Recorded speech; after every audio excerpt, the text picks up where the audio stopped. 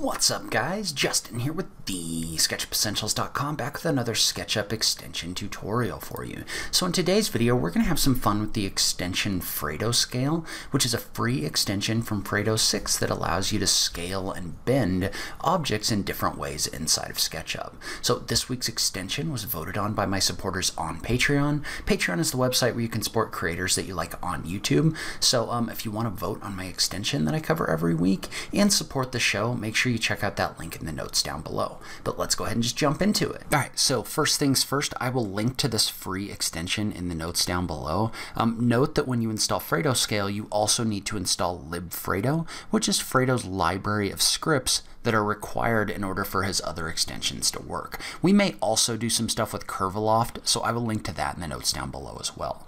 But for this video, what I'm going to do is I'm going to start by deleting my default model, and then we're going to go ahead and we're going to draw out a rectangle. And so for this rectangle, we'll make it maybe 20 feet long. Um, it doesn't really matter right now. We'll make it maybe 12 inches wide, and then I'll just tap the R key and draw a rectangle in order to finish this off. And I'm just going to extrude this up just a little bit like this and then I'm just going to triple click on it and I'm going to make this a group. What I'm going to do is I'm going to use the radial bending tool in order to bend this in a couple different directions. This is more just like a fun model than anything else, but you can use the principles in here in order to create a lot of different kinds of things. But what I want to do in this situation is start by selecting radial bending. And then you can see how that gives me this little uh, protractor in here that's going to allow me to set a point. And so I'm going to start by setting a point on my corner right here. And make sure that this is straight up and down so that you're bending along the proper axis. But what I want to do is I want to start by setting my base point. And so what I'm going to do is I'm going to come over here and I'm going to start by clicking on this midpoint because I want to bend this between this point and the middle point right here. So I'm just going to click. It's going to ask for a target point as well. So I'm just going to click here again. And then I'm just going to type in negative 90 degrees and hit the enter key.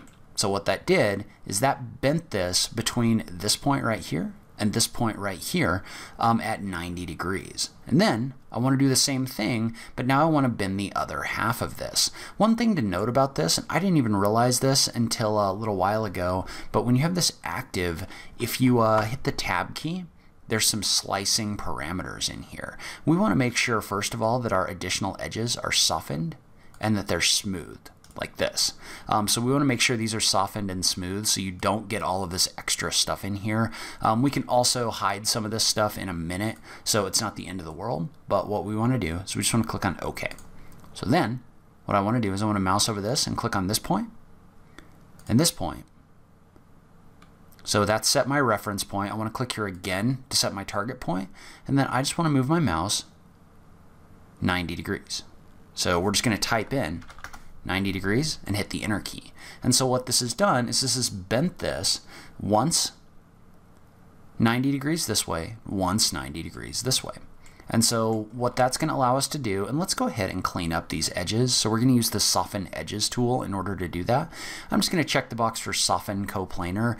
That'll go through and this will soften all of these edges. So what this has given me is this has given me kind of this rib shape um, that I can now use in order to create another shape. So what I want to do is I just want to tap the Q key to activate the rotate tool. We're just going to rotate this until it's standing up. So we're going to rotate this like this. Well then, what we can do is A, let's go ahead and let's make this a component. Just for now, we may explode this in a minute, but in case we decide to make a whole bunch of changes or something like that, we're going to go ahead and make this a component. And we'll just call this something like rib and hit the enter key. Well now, I'm going to use the move tool in copy mode to create a copy. So just tap the M key, click on this corner, and tap the control key.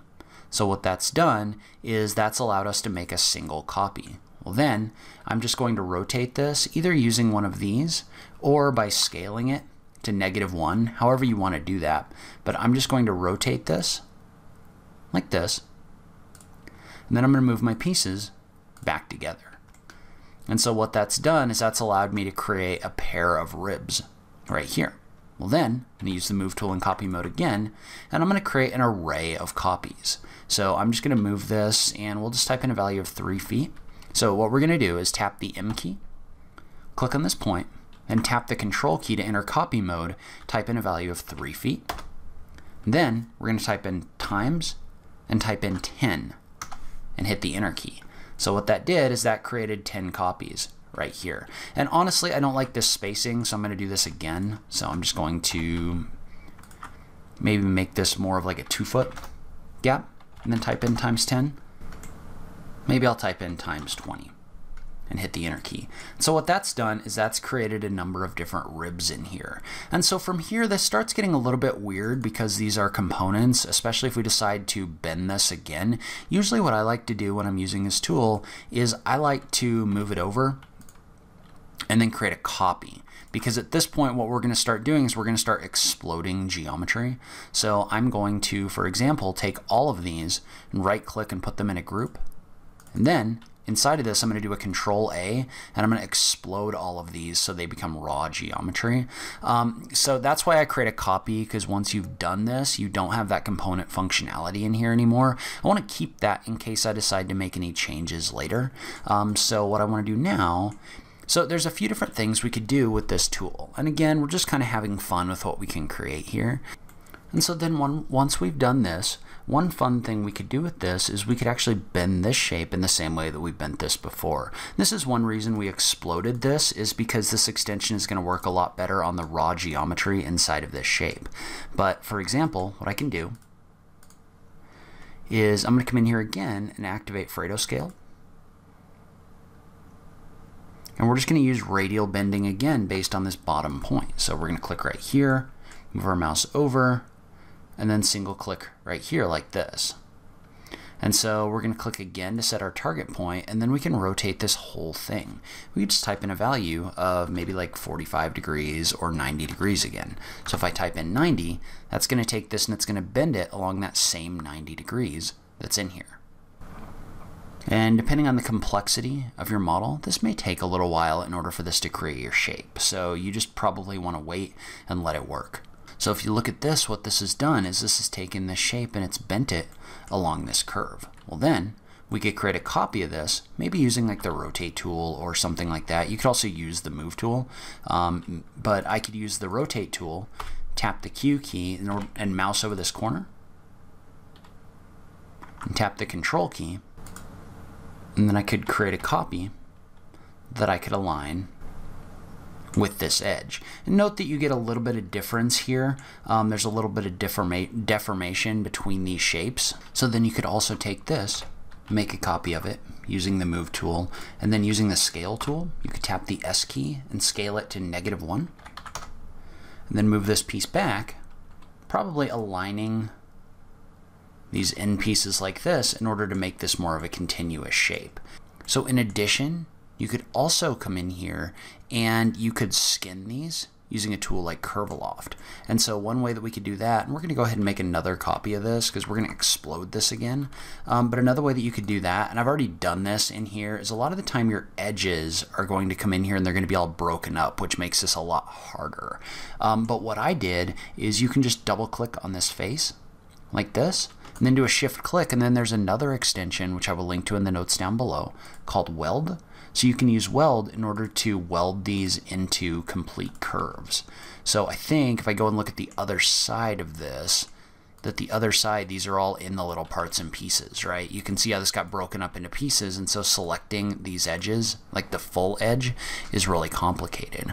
Well, what I'm going to do is I'm just going to double click on this face, then hold the shift key to deselect the face itself, and I'm just going to use the extension weld in order to weld these curves into single curves. So I'm going to go ahead and weld this again so that this double curve becomes a single curve.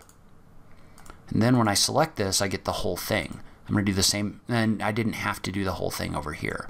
But now, what that would allow us to do, and notice how we want to do this before we explode this, because then, since these are components, um, the change that we apply to one of them gets applied to all of them. Well then, we take this whole thing and we could explode it like this. And I'm going to go ahead and I'm going to turn on parallel projection mode.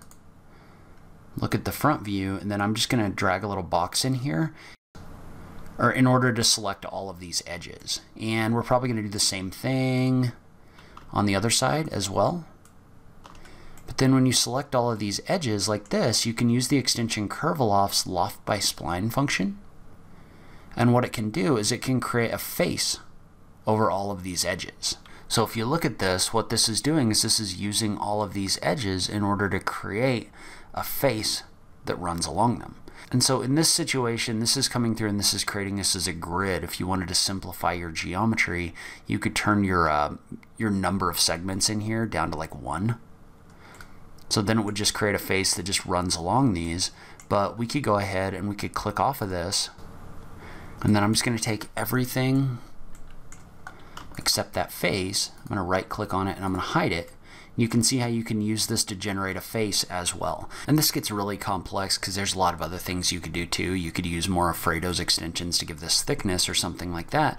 But if you wanted this to be closed in when you created a shape like this one, you could just generate that skin before you bend it.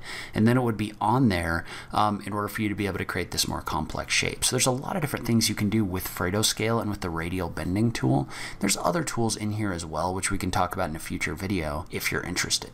So I guess more of a concepts video than anything else, but it gives you really an idea of the power of Fredo scale, and you can use this to start creating different things inside of your models. And just remember that the more you understand about the settings of the tools, the more you can make them do what you want inside of SketchUp. But leave a comment below, let me know what you thought about this video. Um, if you'd like to see more stuff like this, I just love having that conversation with you guys. If you like this video, please remember to click that like button down below. If you're new around here, remember to click that subscribe button for new SketchUp content every week.